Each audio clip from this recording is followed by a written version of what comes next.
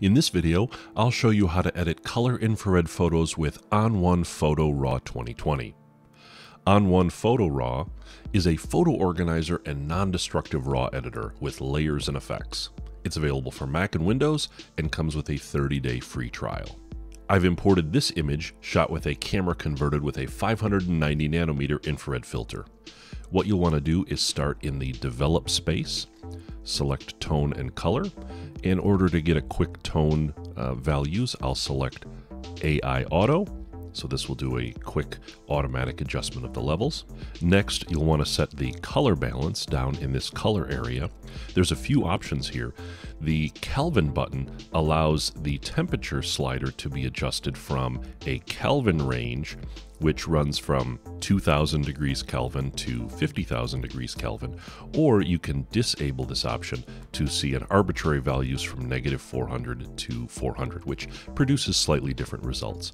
For the sake of this demonstration, ensure that the Kelvin button is on, then select the color picker and use something in the image that you want to set the white balance to. In this case, I'll set the white balance to the clouds, and that'll give you a nice separation between uh, the sky and the foliage while keeping the clouds white. Okay, so we're all set in uh, the develop area. Now let's go into effects. So click the effects tab here and select add filter and here we want to select channel mixer. Uh, so the channel mixer will allow us to swap the red and the blue channels. You'll notice the first option here is IR swap, which is a preset. You can see all of the presets that are available from this drop down uh, to look through a variety of them. But IR swap will very quickly swap the red and blue channel. So that's already built into um, ON1 Photo RAW. So that's very nice. Now that we've swapped colors, we can make some adjustments to the colors. Select Add Filter and click on Color Adjustment. This will allow you to change the, the reds and the blues in the image to suit to taste. So select the uh, red swatch here of the color swatches and drag the hue value uh, to to taste to whatever color you would like if you'd like to change the color of your foliage from the default. Then you can select on the blue swatch to do the same for the sky. So select the hue slider. In this case you can see that the uh, the uh, sky is a little bit teal so I'm going to drag the hue to the right to try to bring some of the blue color and I'll add a little bit of saturation as well now in this case the uh, I didn't quite get enough of a hue shift that I wanted here, so I can simply go to Add Filter and add a second color adjustment layer. And then select the blue swatch, and now I can drag the hue over, and now you can see that the sky is starting to get more of a, uh, a natural blue color that I'm looking for in this image. There's some other filters that can be uh, very nice for uh, improving the look of your infrared images.